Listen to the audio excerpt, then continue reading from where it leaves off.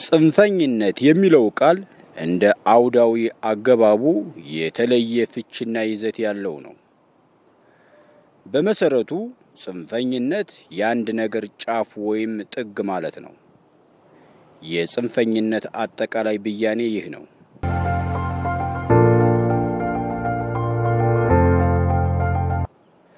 ብዙውን ጊዜ የተለመደውና የሚታወቀው ግን የጽንፈኝነት ፍችና ትርጉም ከሃይማኖትና ብሔር ጋር ተያይዞ ሲነሳ ነው።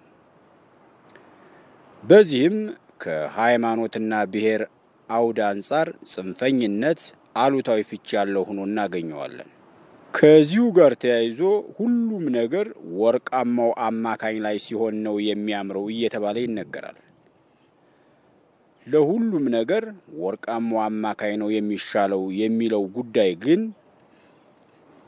በራሱ ጥያቄ የሚያስነሳ ነው። የተለያዩ ምሳሌዎችን ብናነሳ የጽንፈኝነት ፍቺ ሁልጊዜ አሉታዊ ሳይሆን አዎንታዊ እንደሚሆንም እንረዳለን። ጉዳዩን ከትምህርት ጋር እያይዘን እንየው። በአንድ ክፍል ውስጥ አንደኛ ደረጃ መውጣት ነው የሚሻለው ወይስ አማካይ ተማሪ መሆን? ከክፍሉ አንደኛ የሚወጣ ተማሪ ጽንፈኛ ነው? በትምህርት የጉብዝና ጫፍ ላይ መገኘት የሚበረታታ ነው ወይስ የሚነቀፍ? እውን ሁሉም ወላጅ ልጁ አማካይ ተማሪ እንዲሆንለት ነው ምኞቱ?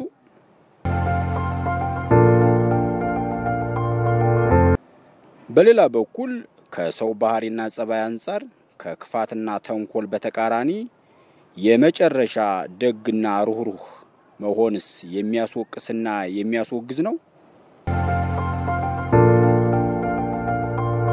ጽንፈኝነት ሃይማኖትና ብሔርን ብቻ የሚመለከት ነው እስካልተባለ ድረስ ተመሳሳይ ጥያቄዎችን ማንሳት ይቻላል።